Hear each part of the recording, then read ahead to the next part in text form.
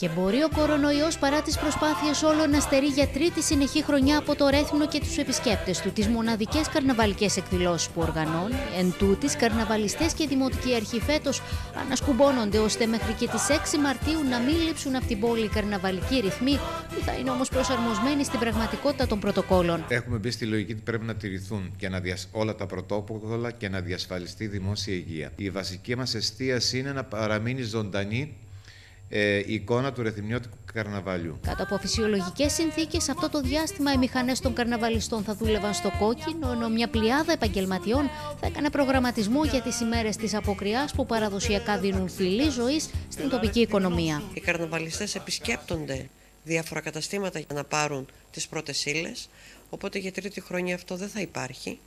Και πολύ βασικό, η επισκεψιμότητα του ρεθύμνου θα είναι πολύ χαμηλή. Μιλώντας με αριθμούς στις περίπου 30 ημέρες καρναβαλικών εκδηλώσεων, οι ρυθμιώτε επιχειρηματίες έβαζαν στα ταμεία τους από 6 έως και 10 εκατομμύρια ευρώ, που με απλά μαθηματικά σημαίνει ότι από το 2020 έως και σήμερα έχουν χαθεί μόνο την καρναβαλική περίοδο από 18 έως και 30 εκατομμύρια ευρώ από τη ρυθμιώτικη αγορά. Τη βδομάδα του καρναβαλιού και τη βδομάδα της μεγαλοβδομάδας όλη η εστίαση βγάζει σχεδόν όλο της το χειμώνα.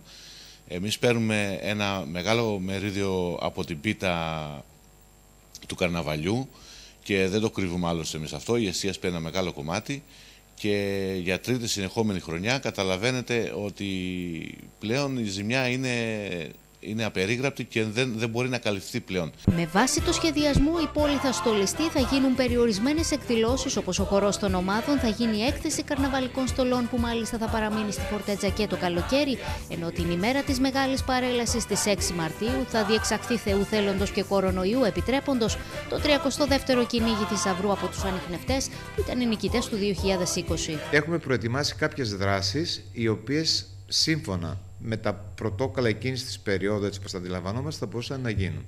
Μιλάμε για το χορό των ομάδων, που μόνο για εμβολιασμένους, ό,τι ακριβώς προβλέπεται, όχι όρθιοι. Ε, μιλάμε για το Carnival Run και την καρναβαλική ποδηλατοβόλτα, που θα μπορούσαν επίσης αντίστοιχα να γίνουν.